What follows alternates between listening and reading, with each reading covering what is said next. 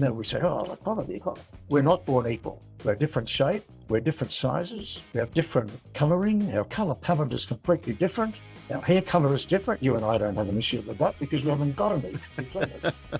but our colour of our eyes is different. The colour of our race, importantly, is different. Our skin, our race.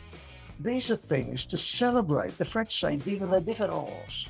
They're to celebrate, not to denigrate.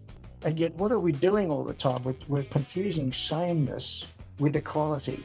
We're saying we need to be the same. We don't want to be the same. We're not the same.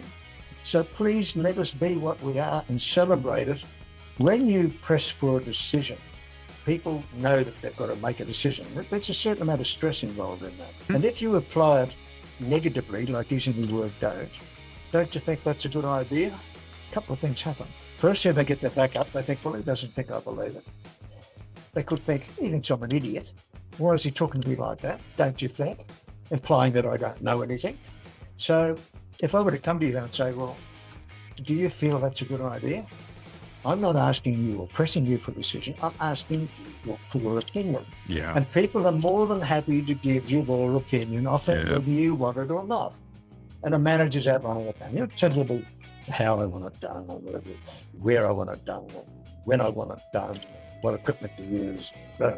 And he's chasing an outcome It doesn't inspire you necessarily. It simply gives you a set of instructions that you need to follow. The difference between a manager doing that and the leader is simply this. The leader will explain why we're doing it.